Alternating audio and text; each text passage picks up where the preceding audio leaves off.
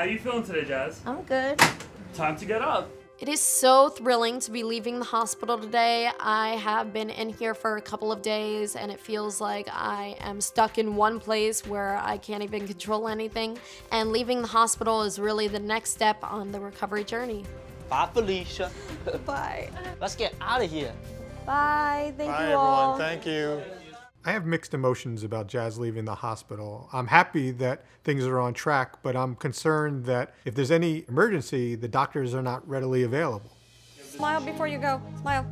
I do have some concerns that if anything goes wrong, I won't be there for Jazz and Jeanette, but I don't really get the sense that there's any major problems that lie ahead. So I think, at least from where I sit right now, Jeanette and the family will be able to handle things without me there.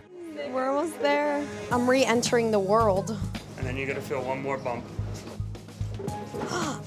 See? Do we need a lift? Someone needs to lift on the other side as well. I didn't think that bump would be that bad. Takes a village. You okay? I'm good. Okay, good.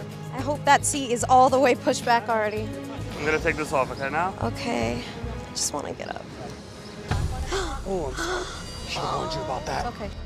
Getting out of the wheelchair, the leg thing snaps down and I feel a pop. And with it, I felt this crazy pain. I felt like an incision just popped.